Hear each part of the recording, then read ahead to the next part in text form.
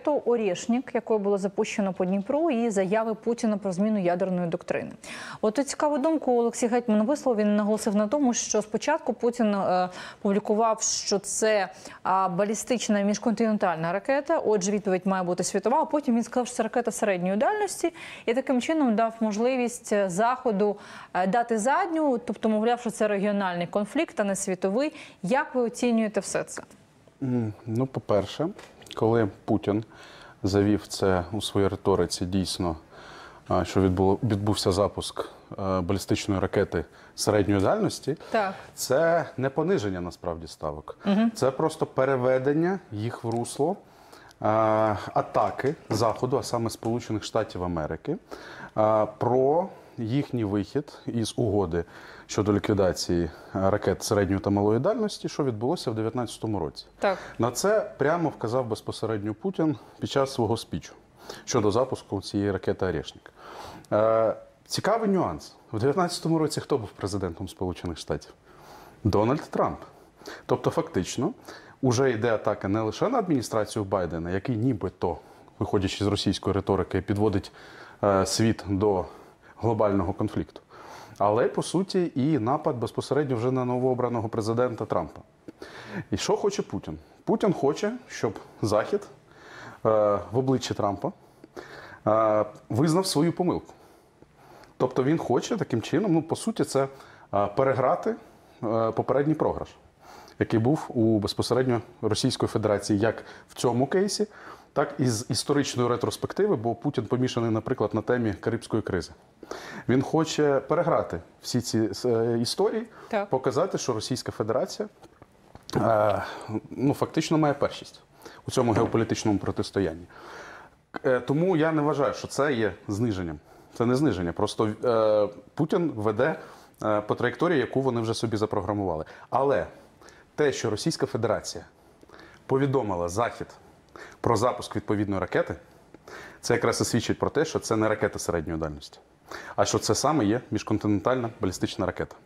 Просто вирішили загально спустити цю тему трошечки, щоб дійсно не було, не, було фіксацій першого бойового застосування міжконтинентальної балістичної ракети. Тому що оце дійсно це крок до глобального конфлікту, до Який глобальної не потрібен війни. заходу, правильно ми розуміємо? Абсолютно, абсолютно. А тепер переходимо до ключової проблеми до імпотентності заходу.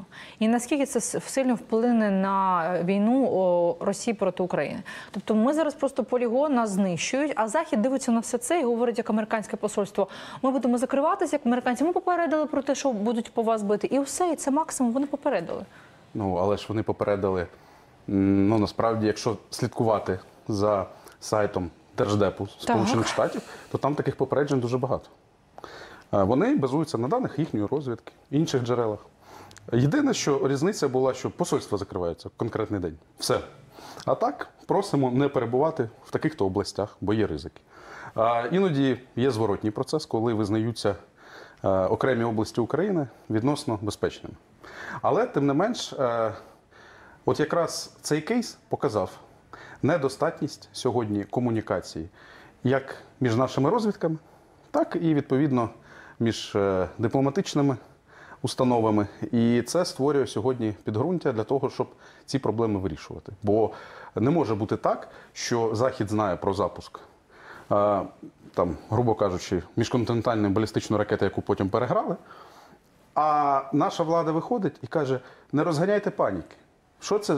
Навіщо це розганяння паніки? Ну так якщо Захід знає, то або він до влади не, не довів, або ну, є сценарій, тоді буде претензії вже безпосередньо до нашої влади. І виходячи з того, що ми вже там третій рік у війні е, повномасштабній, то зрозуміло, що не хотілося бачити таких комунікаційних провалів. Щодо атаки по рядовому кварталу, ми на цьому тижні так само медійно чули інформацію про це. Я от про, це подивилася Тарас Батенко в телеграм-канал по- цим фрагментом. Поділився, що він казав, що парламентарі не йдуть працювати в Верховну Раду, забирають свої родини, якщо вони знаходяться в периметрі. Урядового кварталу, що ймовірно готується удар. Це така медійна складова. От як ви це оцінюєте? І ключове, де, де реакція заходу? Ну, Поділимо на дві моменти. Так. Я думаю, що в цьому нюансі Захід не вважав, що росіяни будуть атакувати в конкретні дні. Так, багато хто дійсно отримував відповідну інформацію від е, нашої розвідки, що можливі удари. Такі, до речі, звіти проходять перманентно. Е, Часто вони не справджуються, але виходячи з того, що пішла інформація, що в небі Астраханської області е, буде обмежено цивільну Повітряне авіацію. та, та. Це створювало додаткове підґрунтя, щоб все-таки, ну знаєте, краще додаткові заходи безпеки, ніж е, знову вказати, що хтось нагнітає паніку. Тут вирішили навпаки зробити діаметрально протилежно. Але знову ж таки зверніть увагу, значить, Верховна Рада не працювала.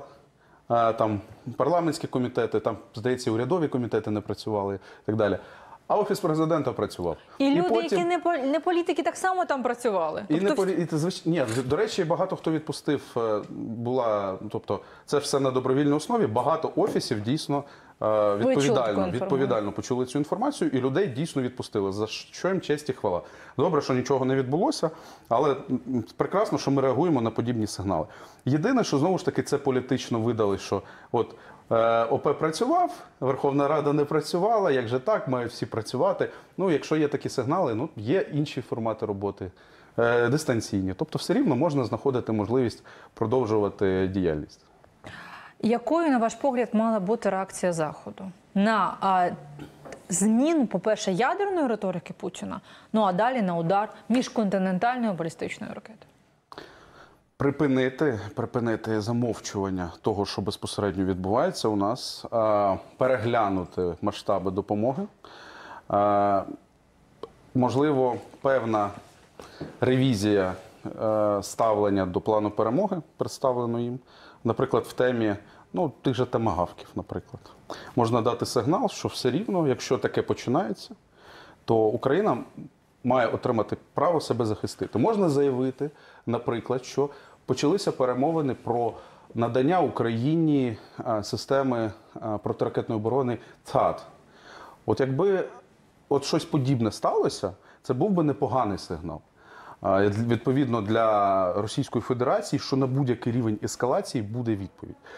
Поки що єдиний позитив від того, що сталося в Дніпрі з Південмашем, єдиний позитив те, що ми повернулися на перші шпальти західних ЗМІ. А ми завжди повертаємося, коли нас просто знищують. Так, ну це єдиний позитив. Але питання, як ми це використаємо, е, отут уже треба максимально тиснути, тому що ми розуміємо, всі ж чекають інавгурації Трампа, що може бути ймовірні перемовини про припинення вогню і так далі. А цим користається Путін, піднімаючи в подальшому рівень ескалації.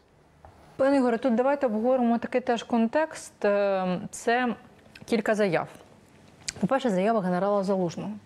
Розпочалася третя світова війна, а Захід не може це сприйняти. Він е, це аргументував наступним: що північно-корейські солдати воюють проти України. Росія використовує іранські, іранську зброю а з китайськими запчастинами. І він говорить про те, що Китай, Іран, Північна Корея і Росія сьогодні розпочали цю третю світову війну. В цей момент е, в Фінляндії жінок готують до ймовірної війни з Російською Федерацією. В цей момент Німеччина офіційно змінила свою е, військову доктрину. Вона готується до війни з Російською Федерацією. Пісторіс говорить наступне: що е, Європа виробляє зброю, те, що вона робить за рік, Росія робить виробляє за два місяці. І це говорить офіційно Пісторіус. Це ж не якийсь там політолог чи експерт. І це все е, фактично спричиняє до думки, що третя світова розпочалася де-факто, але ніхто цього визнавати не хоче. Всі відмежувалися. І тільки бореться одна Україна. Коли вже світ зрозуміє, що треба зробити Путіну? Вдарити по якомусь європейському місту ракетою, е, по е, місту країни-члени НАТО, щоб вони зрозуміли, що треба зробити, яким чином пробудити наших союзників. Ну, проблема в тому, що наші союзники, е, партнери працюють в парадигмі цієї контрольованої ескалації, коли вони до кінця не хочуть визнавати сам факт е, того, що дійсно ескалація піднімається. Пам'ятаєте, скільки разів до них дрони залітали, ракети залітали? Нічого не було, це не були дрони. Мені абсолютно неприйнятна теза, коли звучить. Ну, ми подумали, що е, там не було злого умислу, не було умислу агресії. От коли, значить, е, російська ракета там в нашому повітряному просторі, там не було умислу жодного. Тобто, вона Україну атакувала, ну випадково залетіла, ну ще щось. Ну тобто, Accidentally так, тобто ситуація яка? Що оце невизнання до кінця, воно вводить в оману західні суспільства, які не встигають дійсно почати готуватися до нових випробувань.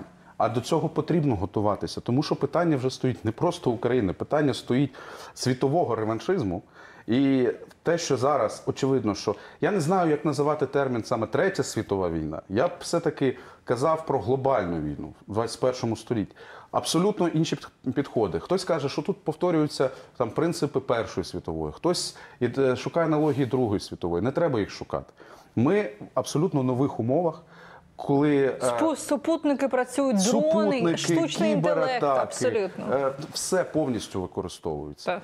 І це якраз свідчить про те, що дійсно глобальний конфлікт, як такий, по суті, почався. Єдине, чи можна його трактувати ще як війна. А тут, очевидно, ми ж знаємо, що дуже часто сторони офіційно не оголошують війну. Тобто можуть оголосити воєнний стан, ну як і в нашому, до речі, але навіть е, безпосередньо стан війни не проголошують. Там є певні юридичні нюанси, виходячи з міжнародного права. Але все рівно війна то де-факто відбувається. Абсолютно. Тому це якраз і говорить про те, що е, як чим швидше ми правильно поставимо діагноз, тим швидше ми почнемо правильне лікування. Від от теж ті тези, які я вам наголосила, які ви прокоментували. А які наслідки все це буде нести? Давайте уявимо ситуацію, що Захід знову не буде звертати на все це увагу. А що буде діяти, що буде робити Путін далі? Далі Путін буде е, тактичний ядерний удар застосовувати. На які ще кроки е, дасть Європа і світ піти Путіну?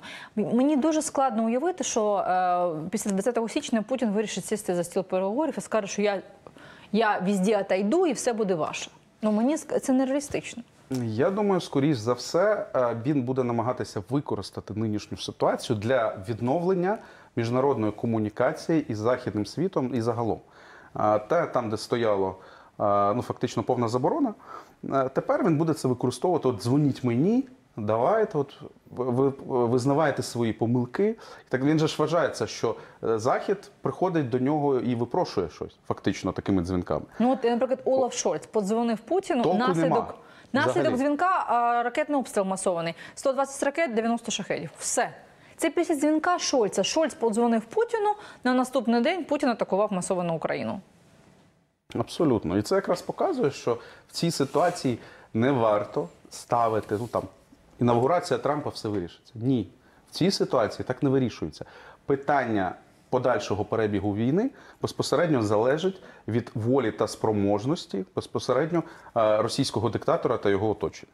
Ось тут корінь проблеми. Коли Пісторіус говорить, що те, що Росія проводить, е, виробляє за два місяці, ми виробляємо за рік. На що він натякає? Що просто Європа більше не здатна е, доставляти зброю і фінансувати Україну? Це ж цитата, фактично, вона багато про що свідчить. Ну, з однієї сторони, так, з іншої, сама Європа почувала себе ну, в статусі умиротвореності певної. Вона вважала, що Сполучені Штати їх захистять. Присутність США як союзника по НАТО це гарант безпеки максимальний, що ядерна парасоля є, значить, американські військові і їхнє озброєння є. Навіщо вкладатись? самим, навіщо е, і е, продукувати, навіщо купляти озброєння. Ну тепер вони самі бачать, що загроза є набагато реальнішою, ніж те, як вони думали раніше. Але знову ж таки питання суспільства. Ми бачимо по виборах останніх, які відбуваються, наскільки легко популісти цю тему е, ну, фактично з ніг на голову піднімають і кажуть. Та це ж бачите, це ж партія війни, як вони люблять називати. Оце партія війни, вона хоче вас привести кудись незрозуміло. І на цьому намагаються прийти до влади, е, не даючи можливість в подальшому займатися реальною національною безпекою, виділяти фінансування на закупівлю озброєнь. Тепер от ми з вами хотіли б обговорити, е, що щодо позиції Дональда Трампа. От він приходить до, до влади, і вже Reuters написало, що найближчим часом президент Путін буде контактувати з Трампом. Я так розумію, найближчий час це, це до 20 січня. Про що будуть говорити Путін і Трамп до 20 січня?